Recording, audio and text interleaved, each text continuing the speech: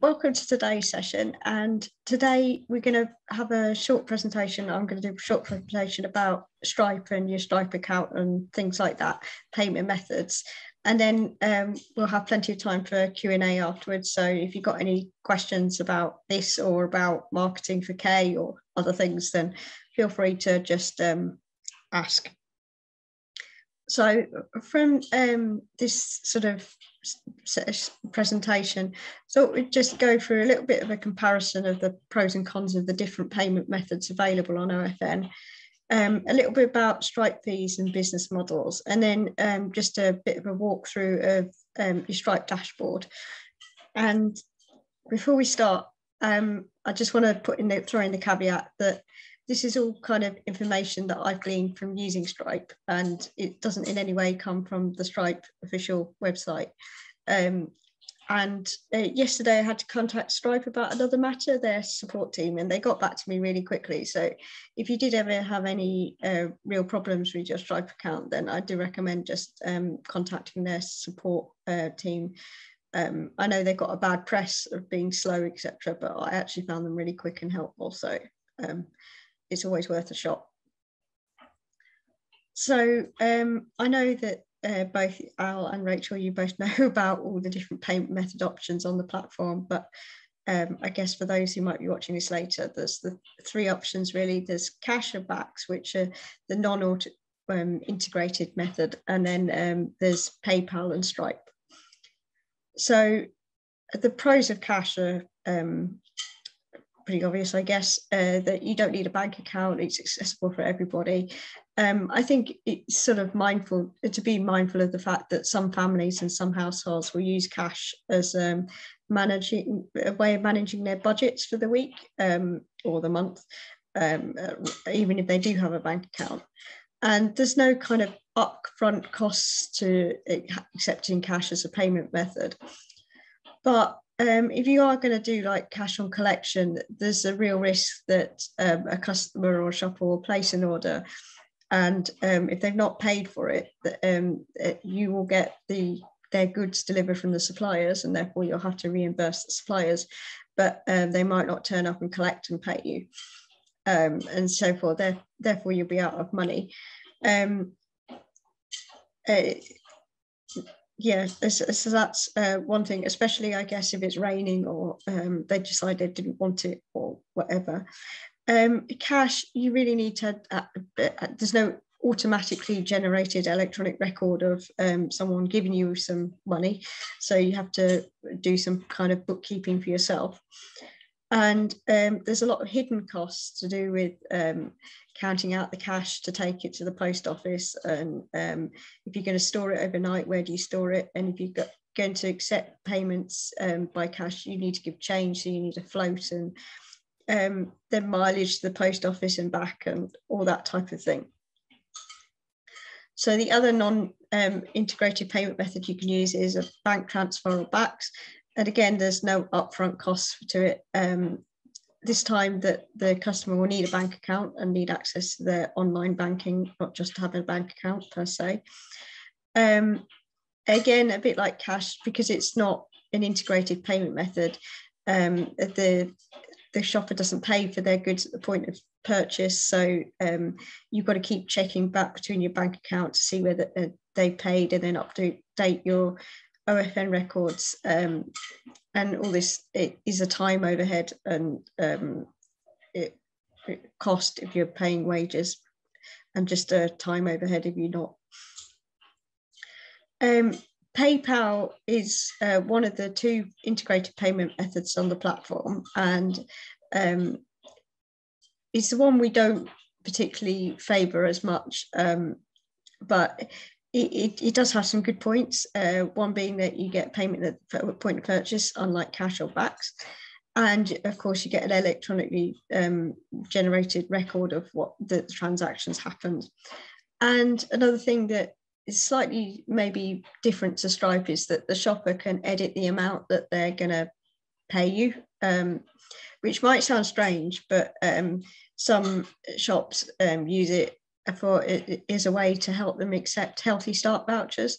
So if the transaction total comes to £20 and someone's going to pay in part by a healthy start voucher, which I think is £3.30, then they can pay you, um, edit their transaction total uh, via PayPal to 1670 and then hand you the healthy start voucher when they come and collect. Um, the con for PayPal is that it's slightly more expensive than Stripe, which I'll come to in a minute. And obviously there is a, um, a, a, fee, an obvious cost to it. Um, it's less integrated with OFN than Stripe, um, which means you can't do refunds automatically and it doesn't work with subscriptions. And then um, on a personal note, I found that there's a real big issue with PayPal and Shopper Trust. And um, it's not particularly logical, perhaps. Um, I think a lot of people feel that PayPal, um, you need a PayPal account to use PayPal as a payment method, whereas you can just put in your card details and not have an account. And um, it has a little bit of a bad press. So Stripe is the payment method that we tend to advocate on OFN for card payments. And um, it's fully integrated with OFN in terms of refunds and subscription payments. And um, the disadvantages are that there is a fee associated with it, um, and the shopper needs to have a bank card. Um, so it's maybe not as accessible to those on um, who want to use cash as a way of managing their budgets. Um, using the platform, you can use tags and tag rules to um, just give selected shoppers the permission to pay by um, cash and everyone else will have to pay by card. So if you trust people and you know they're definitely going to turn up for their order if they place it or they'll tell you in advance if they don't want it, um, then you can let them pay by cash and pay on collection. Um, whereas everyone else or people you don't know will have to pay upfront by card and it gives you that security. Um, the method of doing this, the how to, there's a link in the slides which I'll show later, uh, share the slides later with you. So I guess um, one of the biggies is the Stripe fee, and um, it, it's a there is a fee per transaction with Stripe, uh, which is the first thing to note. Um, and for most European cards, it's 20p plus 1.4%. Um, obviously, uh, this is the fee at the moment, so it, it, might change at some point in the future. So do check if you're thinking in six months' time, well, Louise said it was 1.5 or uh, 4%, and it's gone up. It might have done it. it, it yeah, the Stripe website is the place to check. Um, passing on this fee directly to your customer is actually illegal in the UK.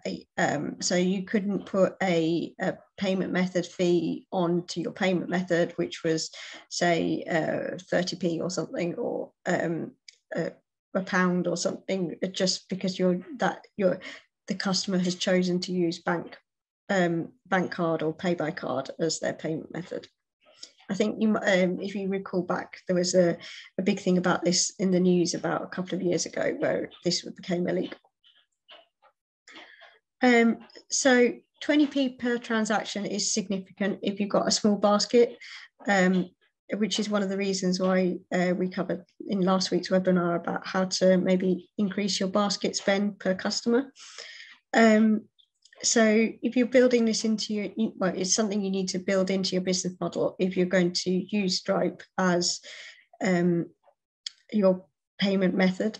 Um, and one, I've just done some quick calculations here, which is assuming that you have absolutely no other more overheads to your business other than your Stripe fee, which is pretty much unrealistic. But um, it just gives you the break even point, what your basket spend needs to be per, uh, according to your enterprise fee. Um, uh, to actually uh, break even or not make a loss once you've reimbursed the producers for their the goods supplied. So if you've got an enterprise fee of 5%, then you're going to need a basket spend of pretty much six pounds or more to um, break even. Um, if you do less than that, then you'll reimburse the amount you need to reimburse this, your suppliers is more than the amount that you'll get from the transaction. As you increase your enterprise fee, obviously um, this minimum basket spend goes down quite significantly. But then you might think, oh my God, I'm never going to use um, Stripe. Why on earth would I use it? But you really need to take into account um, the hidden costs behind things like um, cash and BACS as a payment method. Um, because even if you just think of wages to cover um, uh, how much could how much how many minutes or minimum wage can someone work for to cover that 20p it's actually i worked it out as uh, one minute 20 seconds.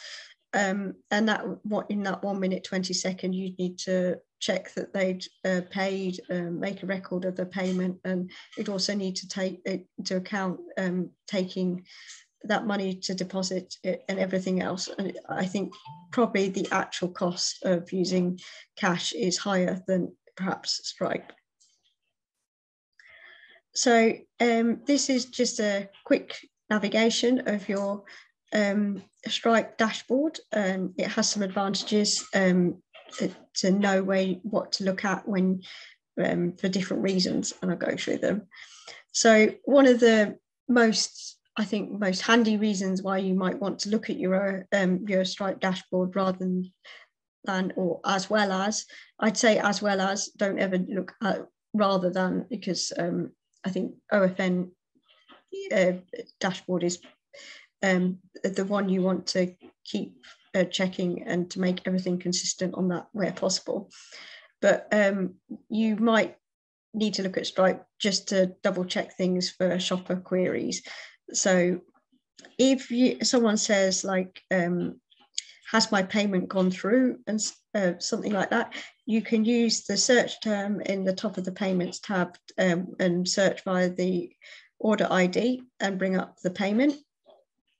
And if you look under the all tab you'll find out um, you'll find all the payments. So um, not just those that are successful but uncaptured ones failed ones and um, refunds and everything if you then look at the uh, transaction in more detail, you've got a timeline. Um, so you might find that um, an order it have a couple of payment attempts and then it's finally captured. So um, a shopper might say, um, "Oh, uh, when was when, when did the payment happen?" So that's what you could look at. And there's also um, a breakdown of the fee. So this transaction, it was uh, £1.70 and out of that £1.48 uh, would be deposited into your bank account and the other 22 would be the fee that would be taken from that um, transaction.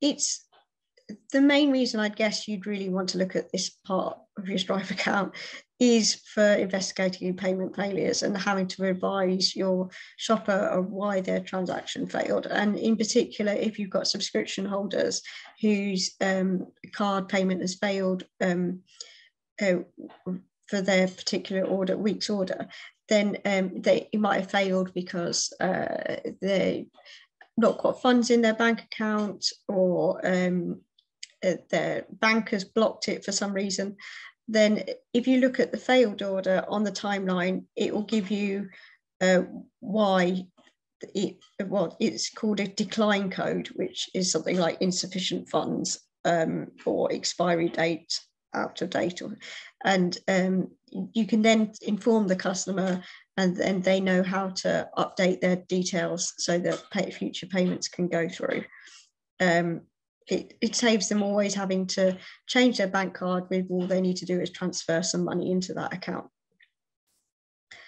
Um, so another thing that you might look at, want to look at is um, reviewing a refund that's been, you've authorized a refund through the OFN platform. The customer uh, contacts you and says, um, I haven't got my money back yet and uh, you want to double check that that went through.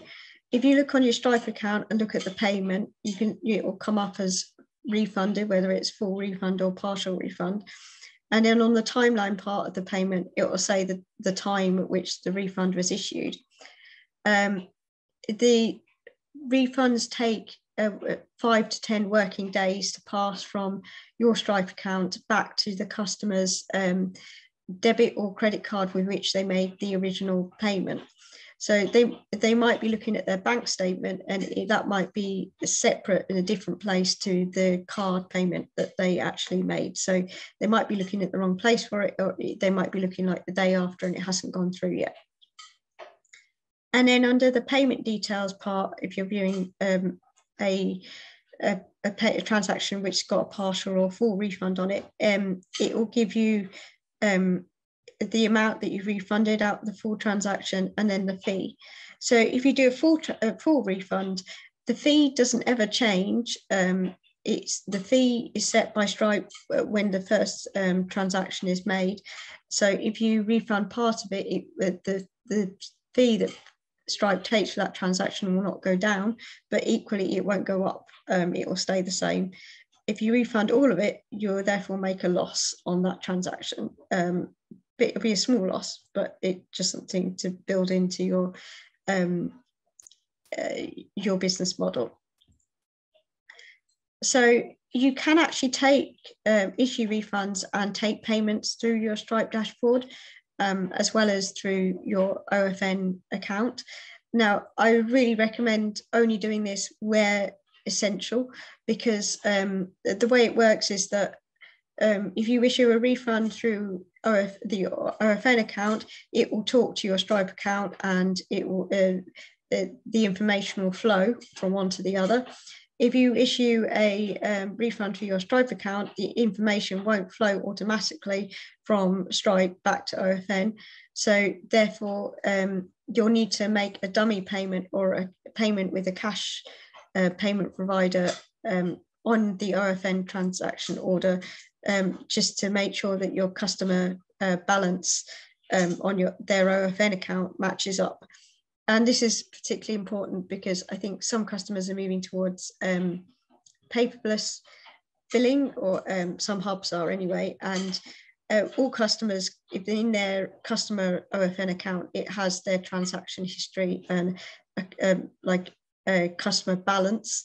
Um, so you want that to be accurate and um, um, accurately reflect the refunds that you've issued and not show that you owe the customer money because you might end up double refunding them in the future.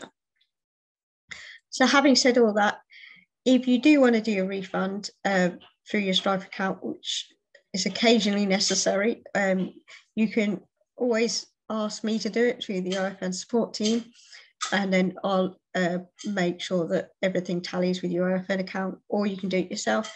And you just look at um, the payments on your um, Stripe account, and then there's a refund button, and it walks you through all the steps. And you can, from that uh, pop out menu, you can do a full refund or a partial refund. Um, taking a payment through your Stripe account, I think there's probably only a few scenarios with OFN that you need to do this or want to do it. Um, if a customer has um, ticked the remember this card box uh, when they pay at checkout, um, then they'll be listed as a customer on your Stripe um, account, which is found on the left hand um, uh, menu in your Stripe dashboard as a list customers. And uh, this is particularly important for subscription customers because uh, they would have had to have their card enabled uh, to allow you to take payments. So um, say if a um, you have a subscription customer whose uh, payment fails this week because their card is out of date and um, uh, the OFN platform won't attempt to take payment of that one week's order again, even if the customer um, updates their card details. So you just need to collect that one payment once they've updated their card details. So you can do that through your Stripe dashboard and then make um, a record of it on um, your OFN account by um, make it recording a payment with a cash payment method provider. Obviously, if you are ever going to take a um, payment from a customer via the Stripe dashboard, it's best practice to email them to say that you've taken payment. Don't just do it, do it, but then tell them why. um, so if you go to the customer, they um, registered their card details um, and they've allowed authorized your shop. Um, they appear on your customers list in your Stripe um, account, and then you click on them, and then um, it, you can do create, and you can create a new payment and put it in, and then put in the description. Uh, probably best practice to put the associated OFN order ID number so that it appears on their statement and they um, know what everything corresponds to. So um, a little bit about deposits between Stripe and money toing and throwing. Um, when a customer pays at the point of checkout, uh, there's a time lag between them putting in their payment details. That money needs to clear with their account and then go into your Stripe account. And that can take a little bit of time. The standard time is seven calendar days, and the um, premium time is three business days. Once it's in your Stripe account, you can then determine how often that gets deposited um, between your Stripe account and your bank account, which I'll say in a minute. And the other thing that I've already mentioned before is about customer refunds can take um, five to 10 working days for them to pass from you issuing that um, that refund to actually appearing on the customer's um, credit or debit card statement. It can be a lot faster, but it, sometimes it's slower. Uh, well, it, it, can be that length of time. So um, if you want to see what's actually in your Stripe account at that any particular moment, um, and when that's going to be next deposited into your bank account. So you're chafing it a bit because you need to pay a bill from your bank account and you want to know when it's going to move. You can look at the balances menu um, balances menu on your Stripe dashboard. That will tell you everything that's going on. And if you want to edit your payment method um, schedule settings, uh, you, you, can you go to the um, settings and then the bank, business settings and bank account and scheduling. And I think you can choose between daily uh, deposits, weekly, monthly, or you can just do it on a manual basis. So you can accrue money in your Stripe account and then deposit it all at once when you need that money. Um, if you'd want to do that, I'm not sure what, why you'd want to do that. The only other thing I've um, that might be well, it is definitely of interest, is uh, the report section of your Stripe account, uh, which is probably very much of interest to your accountant. Um, it, you've got two different sections here. You've got the balance and the payout, which is the balance one details money coming in and out of your Stripe account, and the payout reconciliation report um, details what's going into your bank account and um, both of those give you like a summary sheet and then you can get itemized reports for both of those under the balance change from activities um, uh, part and you can download that report and that will give you um, I think that's probably what your accountant or your bookkeeper or finance person would be most interested in. So uh, that's a bit of a whiz through.